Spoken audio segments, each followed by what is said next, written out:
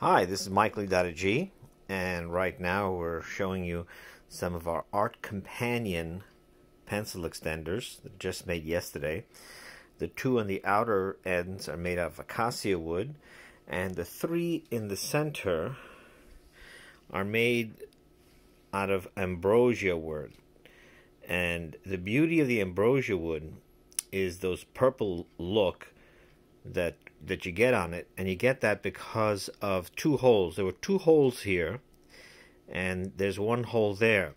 So it's the ambrosia beetle, and what the ambrosia beetle does is it makes one hole and it puts its eggs, and then the second hole it puts in a special fungus that just creates this beautiful purplishly uh, luscious look.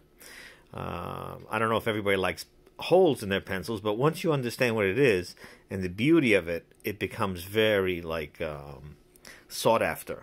So to find a pencil, uh, one of our uh, would where the pencil uh, holder would end up having the holes in it makes it somewhat desirable.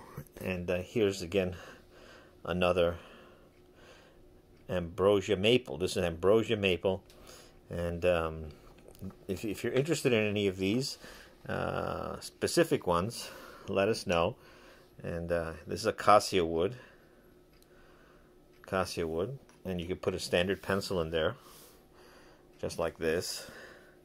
And when you have not much left of the pencil, you use one of our pencil extenders. And it's just a totally different writing experience from the foreign uh, nation made mass produced items.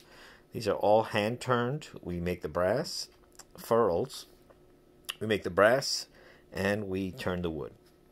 Thank you.